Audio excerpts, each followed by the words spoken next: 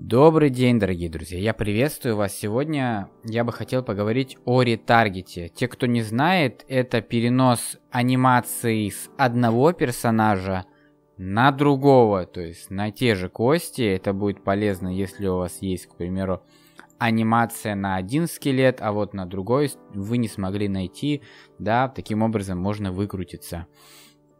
Собственно, почему я записываю это видео? Потому что в русскоязычном сегменте YouTube я не нашел видео подобного рода. Нашел всего одно. Но в этом видео, во-первых, не рассказывали почему. Ну вот почему ты делаешь именно так. Просто нужно сделать это вот так, вот так, вот так. И это работает так, не знаю, так не пойдет. А во-вторых, опять же, из-за того, что нам просто показали, что вот так, вот так, вот так это работает, а я сделал вот так, вот так, вот так, а это у меня не сработало, да, то есть у меня появился такой ужасный, рваный, такой, не знаю, э, знаете, как это называется? Это называется плохая развесовка и Эм, ну что такое развесовка? Представьте, у вас есть персонаж, да, просто скелет, вы берете модель и начинаете делать развесовку, то бишь привязку. То есть представьте, у вас есть кость бедра, да, и на ней модель человека. Теперь, вот в середине бедра, естественно, когда вы ходите, ну ничего не происходит, бедро как бедро, но если вы спуститесь ниже к вашей, вашему колену, то модель в этом месте изгибается. Вы же понимаете, да?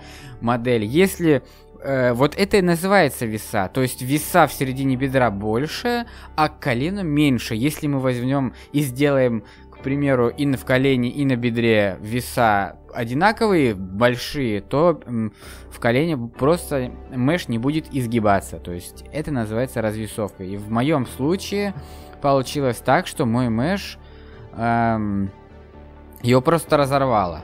Разорвало где-то руки от, там назад. Если у вас ну, торчали в другую сторону. Если у вас такая проблема, то это видео для вас. Да, кстати, э, можете заранее подписаться, посмотреть, что у меня там на канале. У меня много интересного. Итак, продолжим. Мой персонаж выглядит вот таким вот образом. Мне нужно на этот персонаж, вот на этот скелет, прошу прощения, вот на этот скелет перекинуть анимацию. Я подготовил анимацию, я ее специально э, в отдельную папку, да, переложил, скопировал, вот так она выглядит, то есть мне нужно, это ведь другой скелет, вы же понимаете, это скелет стоковый, а мой скелет, э, то есть это абсолютно другой. Мне необходимо, значит, с этого перекинуть на этот. Как мы делаем? Для начала нам необходимо нашему персонажу, то есть его скелету, да, сделать рик. Э, мы создали рик э, для объединения. То есть после того, как мы нажимаем ОК, наша программа понимает, так, эту штуку нужно объединить. Каким образом это работает? Смотрите, вот наш персонаж. Выберите риг, я выбираю. Вот теперь наши кости доступны для ретаргетинга. Если у вас нет такой, вы можете выбрать вот здесь, то есть если нет такой вкладки, либо вот ретаргет менеджер. Переходите сюда, включаете и, собственно говоря, порядок. Вот наши эти...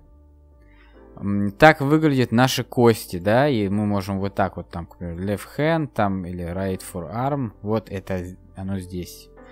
Значит, с этим мы здесь пока закончили, но я не советую закрывать эту вкладку, потому что в дальнейшем нам придется сверяться по костям нашим персонажем с стоковым. То есть стоковый персонаж, точнее его скелет, ему мерч делать не нужно. Выберите э, объедин... вот, э, рик, с которым мы должны объединить. Понятно, да? New Character это наш. Мы должны объединить с этим э, кости для того, чтобы... Ведь... Э, Анимация это привязывается к костям, к развесовке, вы же понимаете, я вам объяснил. То есть мы выбираем то, э, куда надо перекинуть эту анимацию. И теперь смотрите, какая оказия. Из-за того, что у меня костей больше, вот, об этом девочка не говорила, та. Если у меня костей больше, либо у меня есть, к примеру, вот у этого персонажа есть 5 пальцев, а у этого только 4. Что теперь делать? Как? То есть в этот момент нужно выкручиваться, да? И как выкручиваться, я вам сейчас покажу. Вы можете еще сделать auto-mapping. Сразу вам хочу сказать, что тут все перепутано. То есть, если вы сейчас попробуете эм, объединить анимацию, то у вас получится просто ужас. Вы делаете вот так. Вы берете своего характера, вот здесь где-нибудь, да, вот так, и берете этого.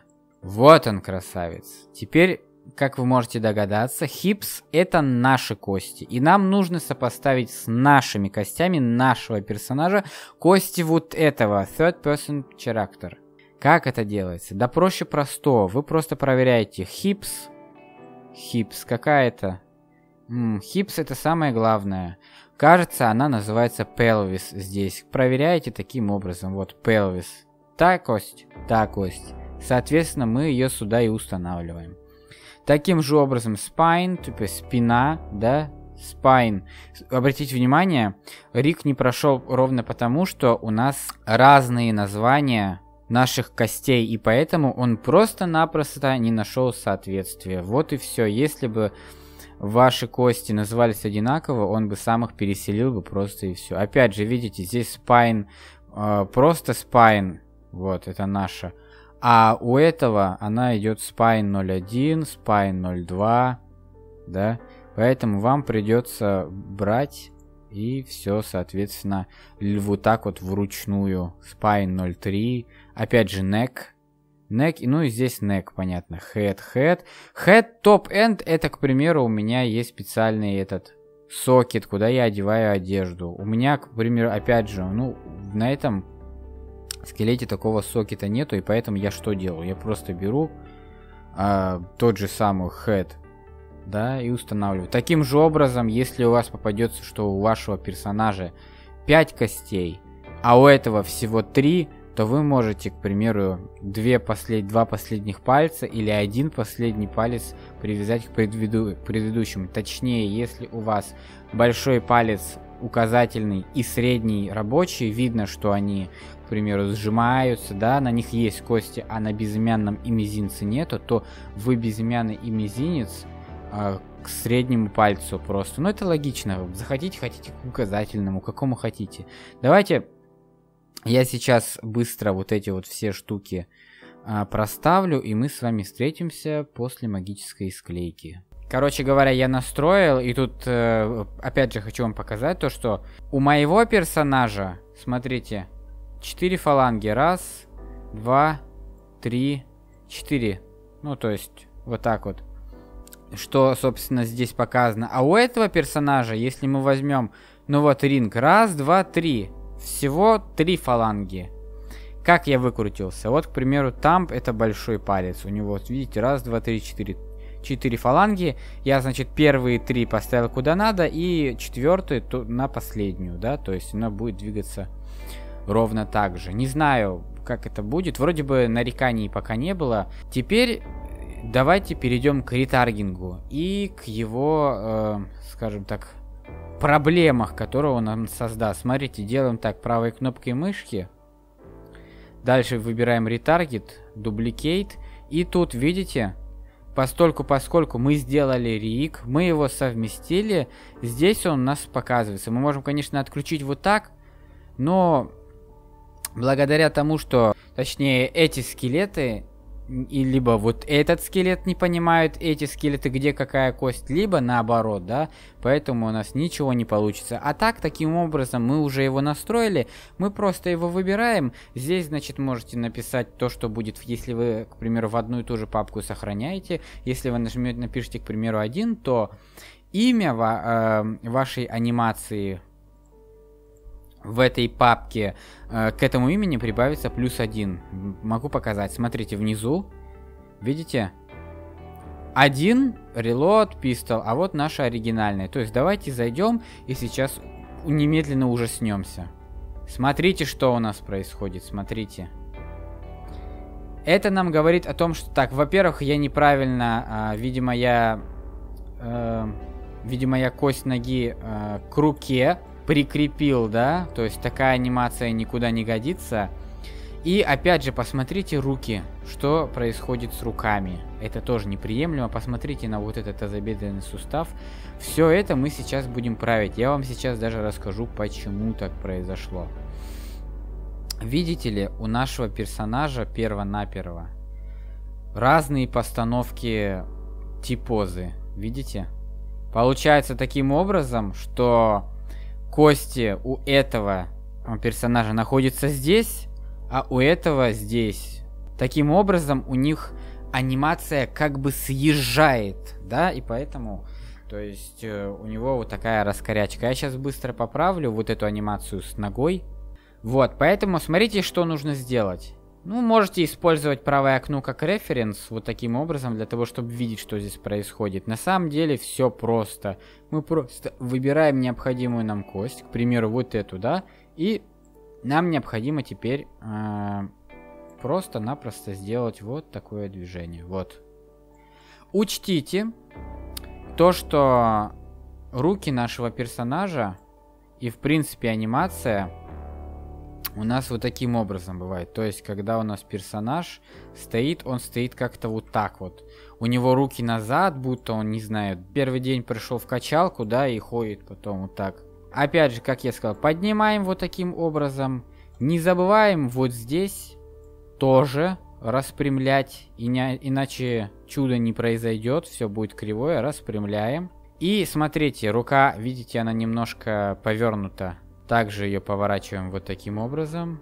Ну, эту и, соответственно, поворачиваем как надо. То же самое проделываем и с этой рукой.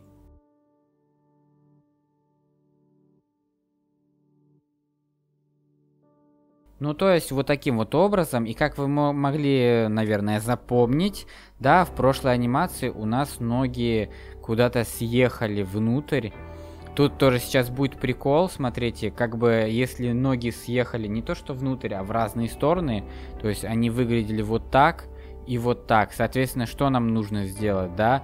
Нам нужно вниз это все и вместе, но из-за того, что, опять же, скелеты разные, то у нас такого не получится. То есть, если, я не знаю, как это объяснить, то есть, если вы сделаете вот таким образом, то это все будет работать. Смотрите, еще там ноги были кривые. С ногами та же самая история. То есть нам, скорее всего, наверное, нужно будет менять... А, ну, это все, скорее всего, потому что у него ноги, как вы можете ну, видеть, в развалочку. Да, мы сделаем ему-то вот так ноги. Вот. И теперь давайте попробуем смерджить. Для этого нам нужно запомнить эту позу. Вот, вы заходите сюда и делаете Use Current Pose. Теперь, вот, эта поза сохранена. То есть при ретаргетинге, смотрите, видите, он сохранил такую позу. Мы опять же выбираем. Здесь можете префикс 2 для того, чтобы просто-напросто не запутаться и для того, чтобы в после, когда вы будете сохранять в папку, в которой уже есть такое название, он его не заменил, да, и нажимаем ретаргет. Смотрите теперь, что у нас получается. Наги на месте. Здесь как? Еще вниз надо будет спустить. Вот, но... Руки. Руки, видите, чуть-чуть. Чуть-чуть ее подкорректировать. Э, вот, корректируется это опять же положением рук. Вот, скорее всего это из-за того, что... Скорее всего это вот, вот из-за этого. То есть это тоже должно быть ровно. Давайте просто проверим. Ну, во всяком случае, я думаю, что механизм работы, да, тут тоже посмотрим, как там ноги. Ноги нужно немножко, наверное, вниз. И, наверное, не немножко, а еще вниз. Давайте их еще вниз спустим. То есть, я думаю, механизм, как это все работает, вы поняли. И я надеюсь, что вы поняли и ухватили суть в принципе, как это делается, потому что это делается довольно легко. Естественно, если бы у вас был скелет одинакового размера, с одинаковым количеством костей, у вас бы в принципе не было такой проблемы, вам бы не нужно было так заморачиваться, вы просто бы нажали бы ретаргет и все. Но поскольку не все бывает как по маслу, приходится приходить к вот таким вот уловкам. Давайте попробуем еще раз сделать ретаргет уже в третий раз. И что же он показывает на этот раз?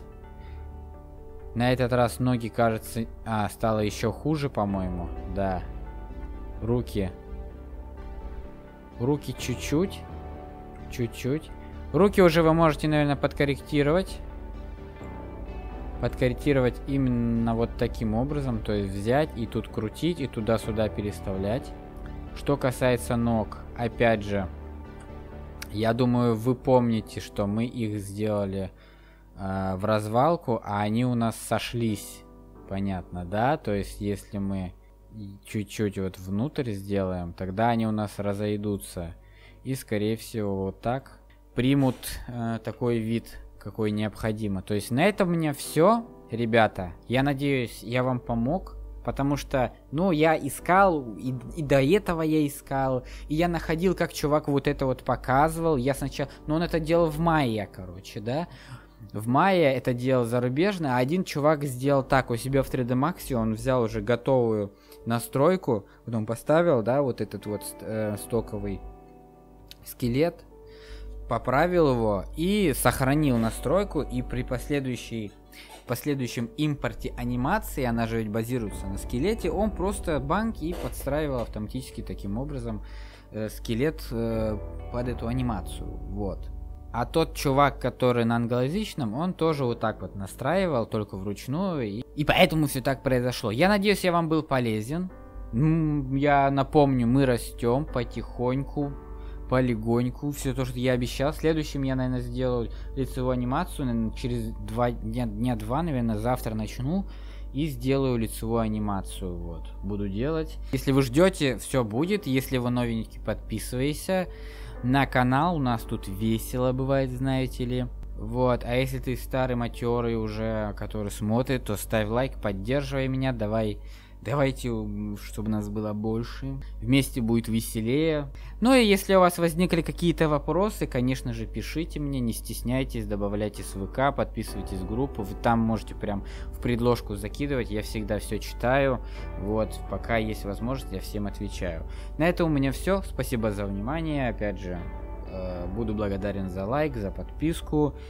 И на этом у меня все. Всем удачи, всем пока, ребята.